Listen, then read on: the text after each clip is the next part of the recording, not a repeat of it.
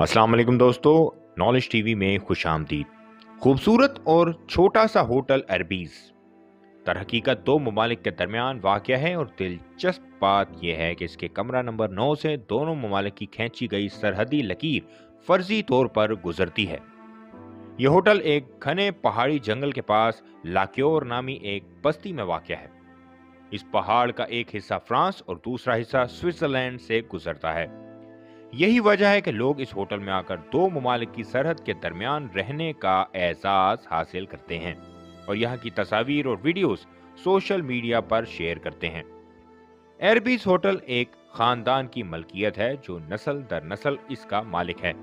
इस होटल का पूरा नाम होटल एयरबीज फ्रांको स्विस है और मुख्तसर नाम ला अरबाइजे भी है।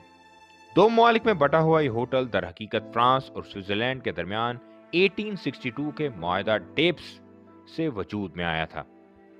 माहे के तख्त दोनों ममालिक ने एक दूसरे से कुछ मुतनाज़ जगहों का तबादला किया था। माहे के तख्त यहाँ पहले से कायम इमारतों को कायम रखा गया।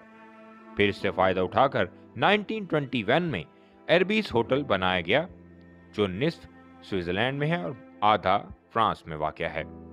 यहाँ तक कि इसके अंदर के बाथरूम भी दो ममालिक में तकसीम नज़र आएँगे।